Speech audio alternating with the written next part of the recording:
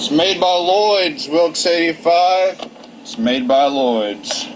This is the Lloyd's headphone volume control box, probably from the 1970s.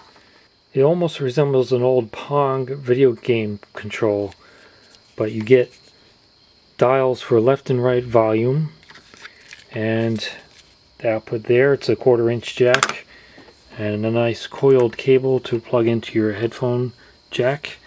And it's really nice for things like tape decks which don't give you a volume control on the headphone output and usually they end up being rather loud unless you have a volume control on your headphones. So I'm going to try out this tape deck in my camcorder's mic input. I have my cable ready here. I'll just plug this in with an adapter into the Lloyd's. That goes into the headphone output of the cassette deck. And I have a suitably vintage Decca cassette, probably from the late 60s. So don't expect the best audio quality, but it's nice music anyway, so let's give it a try.